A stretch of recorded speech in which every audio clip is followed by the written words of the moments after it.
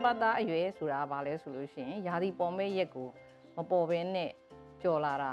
နှစ်ပတ်ကြော်သုံးပတ်မြောက်အပတ်ဖြစ်ပါတယ်နော်အဲ့ဒီအချိန်ဆိုတာတကယ်တမ်းတော့တချို့ဒီကိုဝင်ရှိမှန်းတော့သိပ်မသိတာသေးဘူးပေါ့တိုးတော့လေဒီကာလလေးအတွင်းမှာခန္ဓာကိုယ်ထဲမှာနော်ရင်သွေးလေးမှာလည်းပြုပြင်ပြောင်းလဲမှုတွေအများကြီးဖြစ်ပေါ်နေတယ်လို့မိခင်မှာလည်းပြောင်းလဲမှုတွေအများကြီးဖြစ်နေပါတယ်အဲ့တော့ဒီခုခုနှစ်ပတ်သားအရွယ်အဲ ရင်သွေးလေးอ่ะဆိုရင်6ပတ်သားနဲ့တစ်ပတ်ပဲခြားတယ်ဆိုပေမဲ့အရွယ်အစားအဖြစ်နှစ်ဆကြီးထွားလာပြီဖြစ်ပါတယ်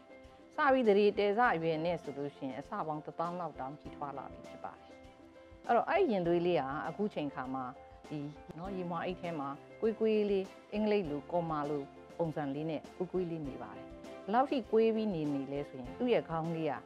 နော်ရင်ဘတ်ပေါ့သူ့ရဲ့ရင်ဘတ်အဲ့နေရာနေနှလုံးဖြစ်လာမယ့်နေရာပါအဲ့ဒါနဲ့ထိလူနီပါကိုကိုပြီးတော့နေနေပါတယ်ကော်မာရှိတ်လေးပါအဲ့တော့အဲ့ကော်မာရှိတ်ကလေးလေးကအဲ့ရင်မွာအိတ်ထဲမှာနေနေတဲ့အခါမှာဒီမှာရင်မွာရည်တွေကလည်းရှိတယ်ဒီရင်မွာရည်တွေကဘာလို့ပေးတာလဲဆိုတော့မိမိရဲ့ခန္ဓာကိုယ်ပေါ်မတော်တဆထိမိခိုက်မိတဲ့အခါမှာနော်တက်ရောက်လာတဲ့ဖိအားဒဏ်တွေကိုကလေးစီမရောက်အောင်ကုရှင်အနေနဲ့ကာဝယ်ပေးနေတာဖြစ်ပါတယ် အဲ့တော့အဲ့ရင်သွေးလေးကိုကြည့်လိုက်မယ်ဆိုလို့ရှိရင်ဥကောင်းပိုင်းကတော်တော်လေးကြီးပါတယ်အဲ့တော့အဲ့ဥကောင်းပိုင်းထဲမှာဒီအုံနှောက်နဲ့အာယုံကြောတွေဖွံ့ဖြိုးတိုးတက်မှုကလည်း10မိနစ်ကိုစောတွေကသိမ့်နဲ့ချီပြီးတော့ပွားနေတဲ့အချိန်ဖြစ်ပါတယ်ဒီအချိန်မှာဒီအုံနှောက်ဖွံ့ဖြိုးမှုကိုထိခိုက်နိုင်တဲ့အကြောင်းချင်းရာများဖြစ်ခဲ့လို့ရှိရင်အဲ့ဒီခါမျိုးမှာကလေးမှာဖွံ့ဖြိုးမှုကိုတွားပြီးထိခိုက်နိုင်မှာဖြစ်ပါတယ်အဲ့ဒါအပြင်ဥကောင်းပိုင်းမှာရှိတဲ့ဒီမျက်လုံးလေးတွေနှာခေါင်းလေးတွေနေရွက်ကလေးတွေအစရှိသဖြင့်ကလည်း ပို့ပြီးတော့ပုံပေါ်လာပြီးဖြစ်ပါတယ်အဲ့တော့အဲ့ဒီမှာမျက်လုံးမှာဆိုလို့ရှိရင်ကျမတို့အပြင်ဘက်ဆုံးမှာဒီမြင်ဖို့အတွက်ကိုမျက်စိအမြင်လွှာလေးရှိပါတယ်နော်အဲ့ဒါရဲ့အတွင်းထဲမှာ iris လို့ခေါ်တဲ့တငယ်အိမ်ရှိတယ်နောက်အထဲထဲမှာမှန်ဘလူးရှိမယ်နောက်ပြီးတော့အမြင်အာရုံခံစားမဲ့နေရာလေးတွေလည်းရှိပါတယ်အဲ့တော့အဲ့ဒီနေရာလေးတွေ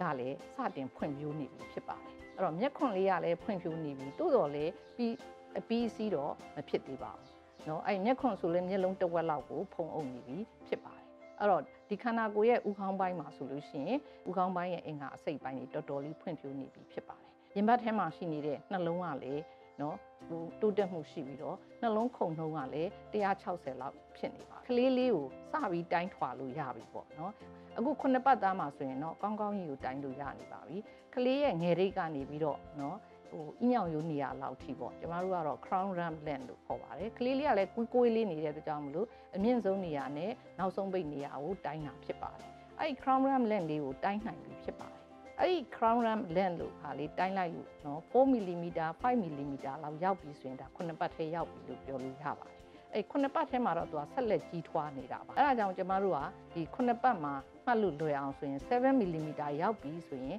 ခုနှစ်ပတ်သားဖြစ်တယ်အဲ့ဒါအပြင်နှလုံးကလည်းစတင်လှုပ်ရှားနေရပါမယ်အဲ့တော့ကလေးရဲ့အရွယ်စား7 mm ဖြစ်တာတော့ ကလေးနှလုံးခုန်တာမပေါ်သေးဘူးဆိုရင်ကလေးရဲ့ကျန်းမာရေးအခြေအနေကိုတတိထားဖို့အရေးကြီးလာပြီအဲ့ဒီပြင် crown ram lens လေးရဲ့အရေးကြီးတာကဘာလဲလို့ဆိုလို့ရှိရင်သူ့ကိုတိုင်းထွာပြီးတော့ကိုဝင်သက်ကိုတွက်မယ်ဆိုလို့ရှိရင်အလွန်တိကျမှန်ကန်တဲ့တိုင်းထွာမှုတစ်ခုဖြစ်ပါတယ်အဲလာရင်သွားတဲ့နောက်ပိုင်းမှာမှတိုင်းထွာတဲ့တိုင်းထွာတွေကတော့သူတို့ရဲ့ခံမှန်းချက်တွေကဒါတော့အဖြစ် crown ram lens တိုင်းတာတော့တော့မမှန်ကန်မတိကျတော့ပါဘူး crown ram lens လေးတိုင်းပြီးတော့ကိုဝင်သက်ကိုတွက်တာဒီ3ရက်ကနေ4ရက်လောက်အတွင်းမှာပဲစောသွားနိုင်တယ်နောက်ကျသွားနိုင်တယ်ဖြစ်နိုင်ပါတယ်။လာရင်မှတိုင်းတာတွေကတော့တစ်ပတ်နှစ်ပတ်အထိစောနိုင်တယ်နောက်ကျနိုင်တယ်အထိဖြစ်နိုင်ပါတယ်။အဲ့တော့ကိုဝင်သက်မှန်ဖို့ဘာကြောင့်အရေးကြီးတာလဲဆိုလို့ရှိရင်တချို့စစ်ဆေးမှုတွေစမ်းသပ်မှုတွေပေါ့ဥပမာ down syndrome ဆိုတဲ့ အဲဟာအတွက်ဖြစ်နိုင်ခြေရှိမရှိစစ်ဆေးတဲ့အခါမှာကြည့်ပြီးတော့ကျမတို့ကဖြစ်နိုင်ခြေရှိတယ်မရှိဘူးပြောဖို့ဟာအဲ့ဒီမှာကိုဝင်သက်ပေါ်မှာအများကြီးမူတည်ပါတယ်။ဒါကြောင့်မလို့ကိုဝင်သက်တိကျဖို့အရင်အရေးကြီးပါတယ်။ဒါကလေးလေးမှာဖြစ်ပေါ်ပြောင်းလဲနေတဲ့အကြောင်းအရာလေးတွေကိုပြောတာပါဒီအစာလမ်းကြောင်းမှာလည်းပဲအစာလမ်းကြောင်းလည်းဖြစ်ပေါ်တိုးတက်နေပြီဖြစ်ပါတယ်အဲ့ဒီမှာအသေးတို့မှုန်ချိုအိတ်တို့လည်းဖြစ်နေပြီဖြစ်ပါတယ်ကြောက်ကက်ကလည်းစတင်ဖြစ်ပေါ်နေပြီးတော့တိုးတက်နေပြီဖြစ်ပါအဲ့ဒါအပြင် ဒီပြောင်းလဲမှုတွေကများလွန်းတဲ့အတွက်ကြောင့်မလို့မိမိရှိမှလည်းပြောင်းလဲမှုတွေအများကြီးပဲဖြစ်နေပါတယ်ဒါပေမဲ့မိမိအနေနဲ့ကတော့ဒီပြုတ်ရာအာနာလေးတွေ၅ဘတ်၄ဘတ်၅ဘတ်၆ဘတ်လောက်ထိကစဖြစ်တယ်ဆိုပေမဲ့ဒူများစုစဖြစ်တာကတော့6ပတ်သားမှာစဖြစ်ပြီးတော့9ပတ်သားမှာပိုပြီးဆိုးလာတတ်ပါတယ်အစားအသောက်နဲ့ပတ်သက်လို့နော်ဟိုပုံစံတွေပြောင်းလာတယ်ငကိုတိတ်ကြိုက်ပါတယ်ဆိုတဲ့အစားကိုသူမကြိုက်တော့ဘူးနော်ဥမာ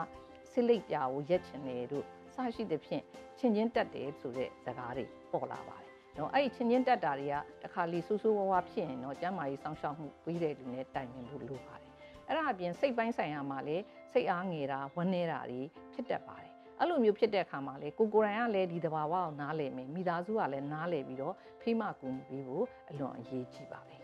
နော်အဲ့ဒါအပြင် ပြောမယ်ဆိုရင်အစာလမ်းကြောင်းမှာဒီအစာအသောက်ကိုပြောင်းလဲသွားရုံနဲ့မကဘူးเนาะမစားခြင်းဘူးမစားတဲ့အတွက်ကြောင့်လေတွေခံလာတယ်အဲ့ဒါအပြင်လေတွေပွားတယ်ဝင်းချုပ်တယ်ဆိုတဲ့ဟာလေးတွေလည်းဖြစ်တတ်ပါတယ် ် အဲထို့နည်း၎င်းပဲစီးသွားလမ်းကြောင်းမှာစဉ်းစားမယ်ဆိုလေတအိမ်လေးကတေးသေးလေးပါအထက်ကကလေးလေးကလည်းမီလီမီတာ size လောက်လေးပဲဒါပေမဲ့အဲ့ဒီတအိမ်လေးကသွေးသွားသွေးလာများလာတဲ့အခါမှာသူကအရှိမရှိရဲ့စီးအိမ်ကိုတွားတွားပြီးဖိတဲ့အတွက်ကြောင့်မလို့ရှူရှူခဏခဏပေါက်ရတတ်ပါတယ်ဒါလည်းကိုယ်ဝင်ရဲ့တဘာဝပါဒါပေမဲ့ခဏခဏပေါက်ရတယ်နာချင်းကျင်ချင်းမရှိဘူးဆိုရင်အန်ဒီရဲ့မရှိပါဘူး ဆိုတော့ဒီဟာလေးတွေကိုမေမေတို့အနေနဲ့သိထားဖို့လိုပါတယ်ဒါပေမဲ့တချို့တချို့သောမေမေတွေမှာဘာလက္ခဏာမှမခံစားရတာရှိတယ်အဲ့ဒီခါကျတော့လေလူများတော့ခံစားရတယ်ကိုမခံစားရတော့ဘာများဖြစ်နေလဲလို့စိတ်ပူနေကြမှာပါတော့တကယ်တော့စိတ်ပူစရာမလိုပါဘူးတချို့မိခင်တွေကဘာမှမခံစားရဘဲနဲ့ဒီကာလကိုကြော်ဖြတ်သွားတာတွေရှိပါတယ်နော်အဲ့တော့ဒီကာလမှာမိမိတို့ဘာတွေလုပ်ရမှာလဲနော်ဒီကာလမှာမိမိတို့ဘာတွေလုပ်ရမှာလဲဆိုတော့အစားဝင်အောင်စားပြီးပါ နော်ဟောတန်ရှင်းလက်ဆက်ပူနေတဲ့အစားအစာဝင်အောင်စားပြီးပါဝင်အောင်စားရင်လီမခံတော့ဘူးလီမခံတော့တဲ့အပြင်ဒီနှိကွေးနေတဲ့ဥရဲ့လှုပ်ရှားမှုတွေကိုပို့ပြီးတော့လှုပ်ရှားလာအောင်စိတ်ဆော်ပြီးတဲ့ကြောင့်မလို့ဝင်ချုပ်တာကိုလည်းပို့ပြီးကောင်းသွားစေနိုင်ပါလေအဲ့ဒါအပြင်ခုနပြောတဲ့ကိုဝင်ဆောင်ရှောက်မှုကိုနော်တကယ်တော့၆ပတ်သားလောက်တည်းကစခံအဲ ခံယူရမှာဖြစ်ပါတယ်မခံယူရသေးရင်ခံယူဖို့လိုပါတယ်အဲ့ဒါအပြင်ခုနတုန်းကကလေးရဲ့ကိုယ်ဝင်သက်တွက်ဖို့အတွက် dating ultrasound scan ရိုက်ဖို့လိုပါတယ်အဲ့တော့ကျန်းမာရေးစောင့်ရှောက်တဲ့သူနဲ့အမြန်ဆုံးတွေ့ဆုံဖို့လိုပါတယ်အဲ့ဒါအပြင်အန်ဒီရဲ့လက္ခဏာလေးတွေပေါ့နော်ဒီကာလမှာလူတိုင်းတော့မဖြစ်ပါဘူးဒါပေမဲ့တချို့တချို့မှာနော် ကိုယ်ဝင်မှာရဲ့ဟိုပြက်ချင်တဲ့လက္ခဏာဒါမှမဟုတ်တခြားဥယွန်တရီတည်တဲ့လက္ခဏာဒါတွေကပါဆိုသွေးဆင်းပုံမှန်မှန်မဲနဲ့သွေးဆင်းလာမယ်စီးစက်ကြိုက်လာမယ်အစရှိတဲ့ဖြင့်လက္ခဏာတွေပေါ်လာရင်တော့ဒါတွေကအန်ဒီရဲ့လက္ခဏာတွေဖြစ်ပါတယ်ဒါကြောင့်မလို့အဲ့လိုမျိုးဖြစ်ရင်လေကျန်းမာရေးဆောင်ရှောက်တဲ့သူနဲ့အဲအချိန်ရွေးတိုင်ပင်ဖို့အရေးကြီးပါတယ်